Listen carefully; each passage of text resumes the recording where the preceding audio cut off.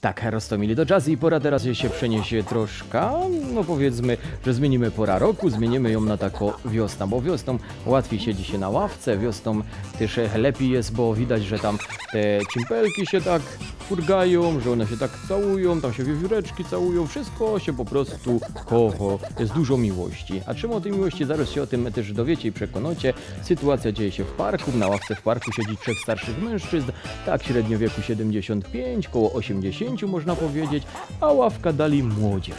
Typowo polską młodzież.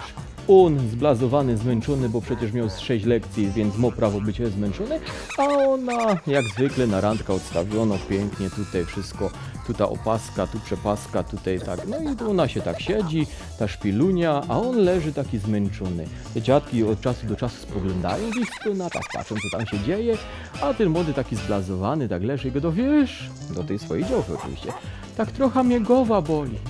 No i ta dziewczyna tak bez zastanowienia tak się nachyla i tak go w tyczłeczku. O, przeszło mi. Za chwilę, wiesz, a tak mnie troszkę tu rączka tak boli. No to ona też się nie zastanawia i tak, o, przeszło mi, słyszy. No to te dziadki tak jeden po drugim tak się nachylają, tak patrzą, zastanawiają się, co się dalej będzie działo. No to młody zaś go to wiesz, to mnie tak brzuszek, tutaj mnie tak boli, brzuszek mnie tak normalnie kręci tu w brzuszku.